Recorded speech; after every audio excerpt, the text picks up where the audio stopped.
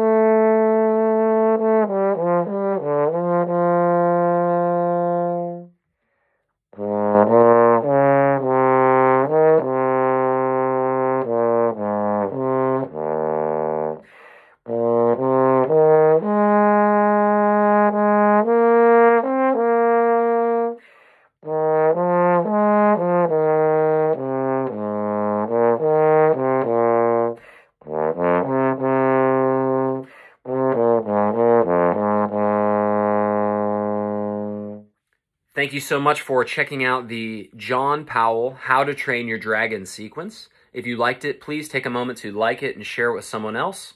To get these sequences delivered to your inbox each week, sign up for my newsletter at willbakermusic.com slash newsletter. And to support the creation of more sequences, consider checking out my Patreon page, patreon.com slash willbakermusic. Thanks so much. Happy practicing.